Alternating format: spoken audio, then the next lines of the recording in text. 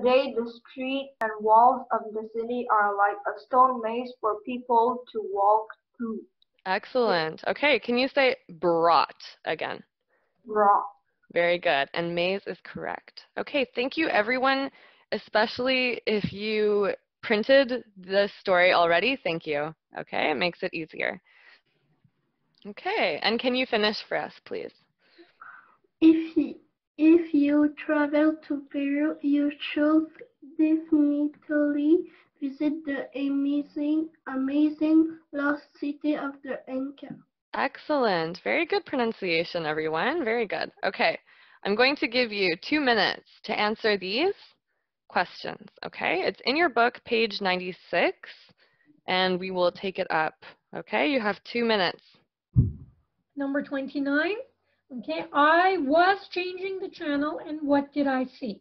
Okay, so this one is a little bit trickier, okay? Because, okay, uh, you're talking about an action that is continuing.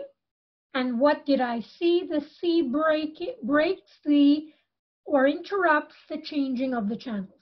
When you're changing channels, it happens continuously until you see something or something else happens that breaks the action of changing channels.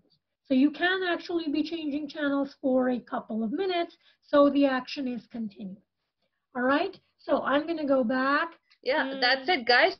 So you have two storybooks. If you want to read while you're at home, you can. They're apparently very good books. So this book, like we said, talks about a boy who goes to save a dragon, a baby dragon. And this one is about a girl who likes who likes animals very much.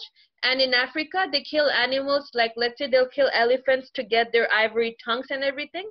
So she wants to protect them. So these are two books. You can read them if you want. Let's turn the page. I think we're almost at the new chapter.